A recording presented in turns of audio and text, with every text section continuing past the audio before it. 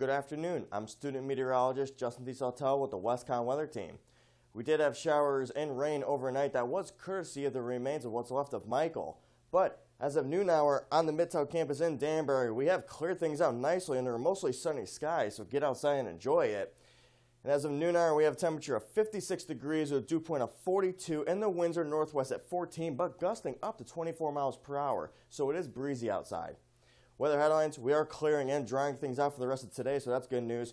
We do have a 50-50 weekend in store, so I'll get into that in just a minute. And do we have showers returned for next week? We'll get into that in my five-day forecast. National Service Map, we did that, that cold front that pushed through yesterday afternoon and overnight. They give us the cool down weather today. Looking just to our south, though, here is the remains of Michael that is racing off to the north and east, and we'll get out of here later on today. And look back off to the west, we do have high pressure. Northeast visible satellite, here is Michael still spinning out here south and east of Cape and the Islands and is racing off to the north and east, so that's great news. We'll get out of here. Looking back off to the west, we did have a cloudy morning, but those clouds have now moved off to the north and east, clearing us out with dry conditions like we saw in the picture. And look back off to the west, we do have a northwest flow bringing in that nice drier air. Northeast radar, here is that rain associated with the remnants of Michael, now pushing east. Looking back off to the west in the Danbury area, we are now nice and dry.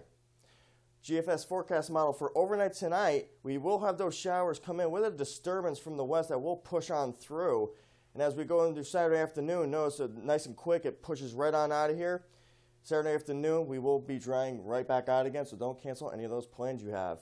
GFS forecast model for Monday evening does show, though, that we will cloud things up Monday afternoon. We will be a little warm also, but we will have a line of showers pushing east, and that will be advance of this cold front. Once the cold front pushes through, we will dry things back out again. But coming back to tonight, we'll have a low of 49 degrees, winds northwest 5 to 10 miles per hour. We will increase the clouds and bring in those showers overnight with that disturbance.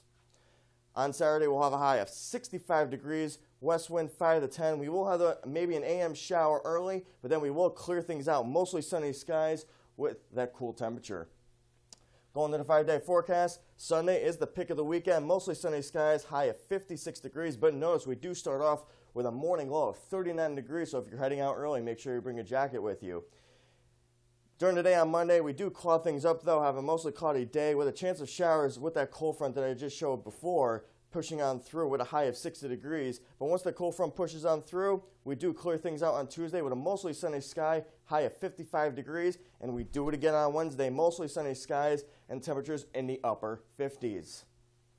Meet the team at social media at WCSU Meteorology. I'm student meteorologist Justin DeSautelle. Thank you for watching.